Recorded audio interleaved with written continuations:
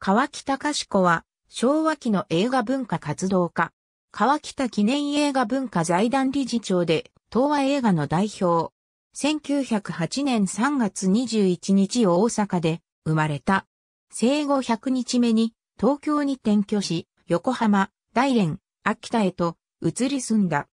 1921年、横浜の祖父の家に戻り、フェリス和英女学校、現在のフェリス女学院に入学する。関東大震災で父を失い、神戸に移るが、間もなく復学した。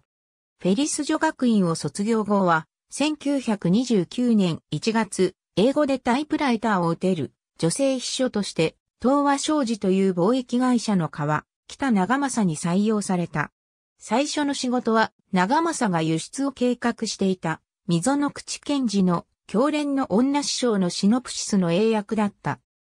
1929年の秋に川北長政と結婚し、竹内賢から川北賢となる1932年に仕事を兼ねた新婚旅行として夫妻でヨーロッパを訪れた際に新婚旅行のプレゼントとして夫に買い付けを許可された制服の処女は一世を風靡し、1933年度キネマ旬報ベスト10の第1位に選ばれた。他にも自由を我らに、望郷、どん底、民族の祭典などの名作を日本に輸入した。1953年に15年ぶりにヨーロッパを訪れた際には、1953年度キネマ旬報ベスト10の第1位となった禁じられた遊びを輸入した。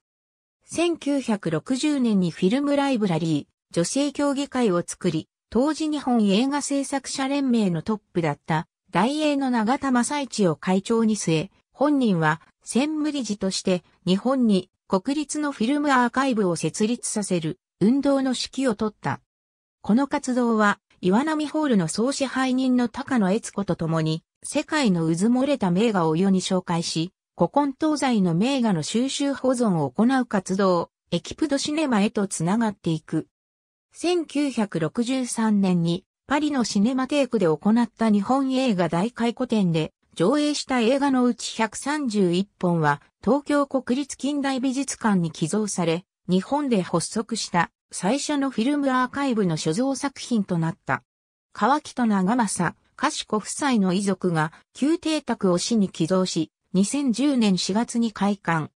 館内は映像資料室のほか、夫妻ゆかりの品々を並べた展示室、図書や台本などが閲覧できる情報提供コーナーがある。展覧会、生誕100年川北賢展。東京国立近代美術館、フィルムセンター展示室で開催。出展。ありがとうございます。